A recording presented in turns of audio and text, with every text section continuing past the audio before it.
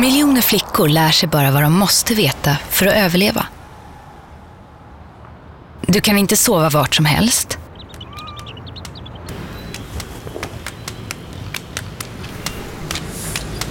Dina föräldrar kommer inte tillbaka för att du gråter.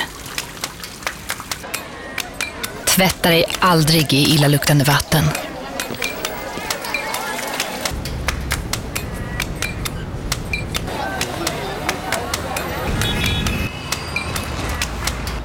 Din mat är aldrig gratis.